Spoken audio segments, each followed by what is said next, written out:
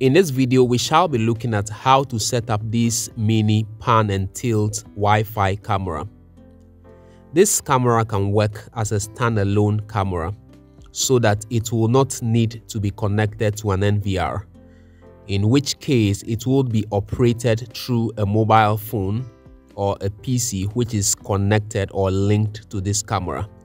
And in such cases, all recordings will be done onto an SD card in the camera itself.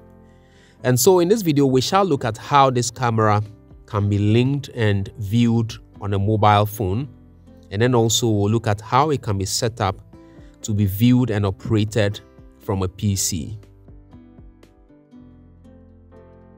As indicated here, a micro SD card for video recordings and a reset button sits behind this cover.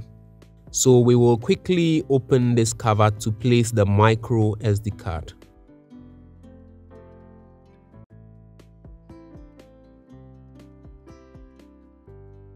This is the slot for the micro SD card. And this picture here describes how the micro SD card should be positioned in the SD card slot. This is a sample of a micro SD card which I intend to use in this camera. So I'll place it this way. Press it down to lock. You can see it's in there and it is successfully placed. The reset button is located in this hole that is here. We will very shortly see how it is used. This is a provided power adapter for the camera. So I'll just connect it to the power port of the camera and plug this end to a power socket.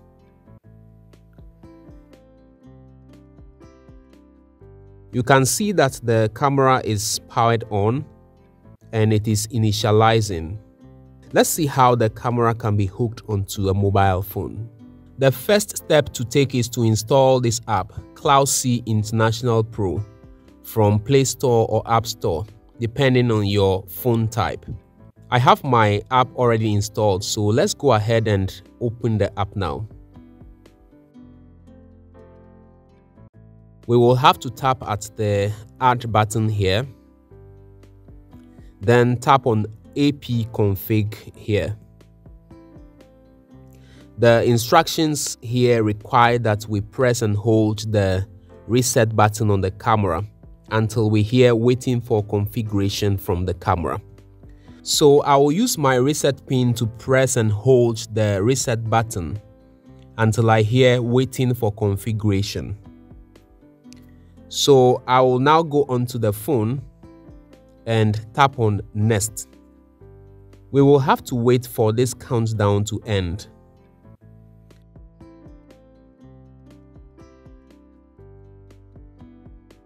Then tap on switch Wi-Fi. Here is the access point for the camera. We would have to choose it. It is connecting. This is not my first time connecting to the access point of the camera, so it is connecting directly without requiring that I enter the password. Please take note of that. Now that the phone is connected to the access point of the camera, we will go back to the CloudSEE app. So I'll tap here, go back and exit this. We are in the CloudSEE app now. You can see that the camera's access point or AP is online, which is an indication of a local area network connection to the camera. When you tap here, you can see the camera pictures. Please note that these pictures you see here are as a result of a direct connection to the camera through its access point, but not through the internet. And so this is not a remote view. Before we see how to do the linkage of the phone through the internet, or what is also called a remote view, let's try a local area network view of the camera on a PC. A local area network view on a PC requires the use of a VMS software.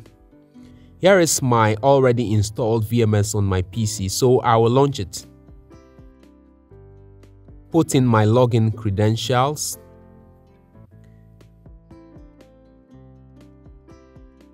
Before I proceed, I will have to connect to the access point of the camera since I want to view the camera on a local area network.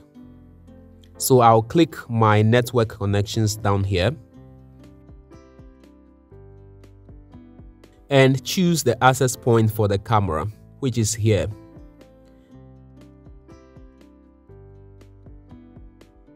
It would have asked for a password to the access point if it were my first time connecting to the camera's access point. So my PC is now connected to the wireless local area network or the access point of the camera.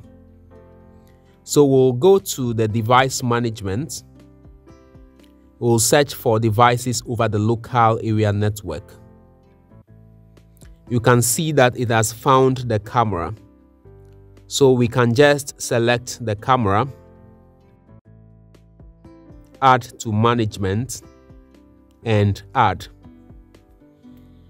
You can see it listed at the top here. So we can go back here, video preview, and double click the IP cameras listed here. And you can see the live preview right here. I must state that this is a view over a local area network, which does not require internet connectivity. And so this view is limited to just the local area network. Please take note of that.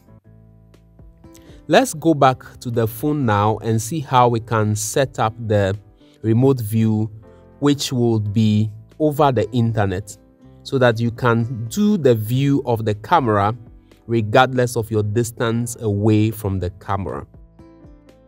So from the live preview window, we will go back from here. We will tap Q config. This brings us to the point where we can connect the camera to an available Wi-Fi network, which will supply internet to the camera in order to facilitate the remote viewing of the camera from wherever you wish to view the camera from. So when you tap here, as you can see, it has listed available Wi-Fi networks around. So I'll choose my Wi-Fi. My internet Wi-Fi has a password which I'll put in here. Then start network. The configurations will be sent to the camera of which the camera will then have internet through my internet Wi-Fi.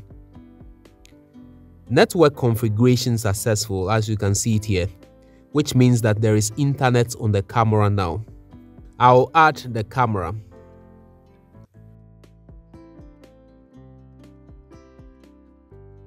You can see the camera now showing online. And this indicates that it is now present over the internet and can be viewed whenever or wherever you find yourself in the world. So when you tap on the camera, it is given a prompt. I'm currently using the default password of the camera, which needs to be changed. But basically, this is the process. You will need to change your camera from the default password to your own chosen passwords to allow the remote viewing of your camera. With the PC View tool, you can add the cameras to the VMS through the camera's CloudSEE ID, and that will give you access to the camera on your computer wherever you find yourself in the world. Please leave your comments and questions in the comment section. I'll respond to all of them appropriately.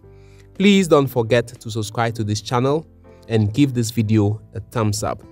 Thank you so much for watching and see you in the next video.